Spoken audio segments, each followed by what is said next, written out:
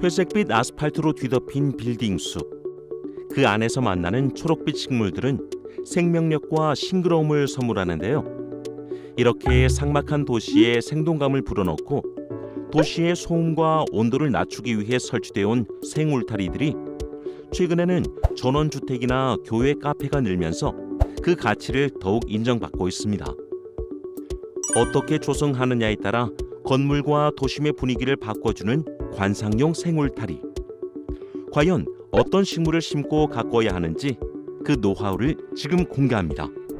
기존의 생울타리는 가지와 잎이 많아 집과의 경계 또는 담장 역할을 하기 위한 목적이나 미관상 좋지 않은 곳을 가리기 위해 조성해 왔는데요.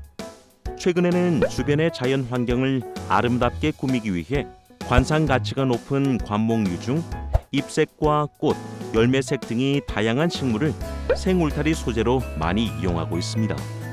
잎색이 다양하고 아름다운 생울타리 식물로는 국수나무와 양매자가 큰 인기를 끌고 있는데요. 국수나무 종류는 자엽국수와 황금국수, 타이니 와인이 주로 쓰입니다. 자엽국수는 이름처럼 자주색 잎이 독특한 느낌을 주는 식물인데요. 5월에 분홍꽃이 피며 6월에 열매를 맺습니다. 황금국수는 노란 연두빛 황금색 잎이 매력적인데요. 5월에 하얀 꽃이 피고 6월에 열매를 맺습니다. 타이니 와인은 젓갈색의 작고 세련된 잎을 가지고 있는데요. 6월부터 8월 사이에 연한 분홍색 꽃을 피워 진초록 식물들과 조화를 이룹니다. 그리고 양매자 종류는 오렌지 로켓, 골드 로켓, Helmond Pillar가 많이 식재되고 있는데요. 이 식물들은 싹이 잘 돋고 추위와 공해에 강해 군식과 생울타리에 적합합니다. 특히 양매자류의 다양한 잎색은 조경 소재 중에서도 색의 변화를 줄 수 있어 많이 선택되는 식물입니다. 꽃색의 다양한 생울타리 식물로는 말발도리 Strawberry Field와 꽃댕강, 풀또기 홍매가 가장 큰 호응을 얻고 있는데요. 말발도리 Strawberry Field는 5월부터 피는 별 모양의 꽃이 하얀색과 분홍색을 띠고 향기가 매우 좋습니다. 특히 Strawberry Field는 꽃이 여러 번에 걸쳐 만발하며 관리하기가 쉬워 화분이나 정원에 심기 적합합니다. 꽃땡강은 키가 2m까지 자라는데요. 생육이 왕성해 밑에서 여러 개의 줄기가 나와 포기를 이루기 때문에 생울타리와 무리 지어 심을 때 좋은 식물입니다. 6월에서 10월까지 피는 꽃땡강의 흰색 꽃은 예쁠 뿐만 아니라 향기도 좋습니다. 풀독이 홍매는 잎이 지는 관목으로 3m까지 자라는데요. 추위와 염분, 공해에 매우 강한 식물입니다. 잎이 돋기 전에 꽃봉오리가 진홍색으로 부풀며 꽃이 만개하면 탐스럽고 아름다워 생울타리 조성용 식물로 꾸준히 인기를 얻고 있는 스테디셀러 식물입니다.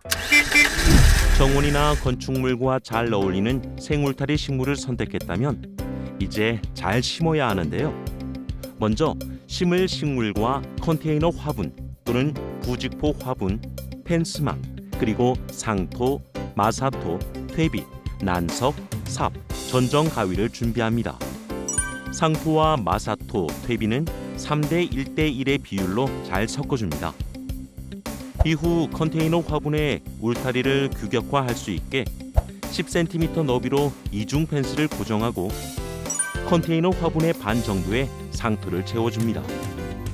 울타리 식물을 심을 때는 일반적으로 20cm 간격으로 띄어 심는데요.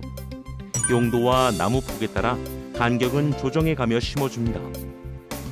식물을 심은 후에는 뿌리가 들뜨지 않게 흙을 채워 꾹꾹 잘 눌러주고 다 심고 나면 전정 작업을 해주는데요. 나무 상태에 따라 아래에서 위로 수형에 맞춰 잘라줍니다. 전정 작업까지 마치면 뿌리 부분까지 흙이 젖도록 충분히 물을 주고 하루에서 이틀 정도 지난 후에 상태를 봐 기울어져 있는 나무는 반대쪽 흙을 밟아 반듯하게 잡아주는데요. 부직포 화분에 식물을 심을 때는 배수를 위해 화분 바닥에 난석을 깔아준 후 상토를 채워줍니다.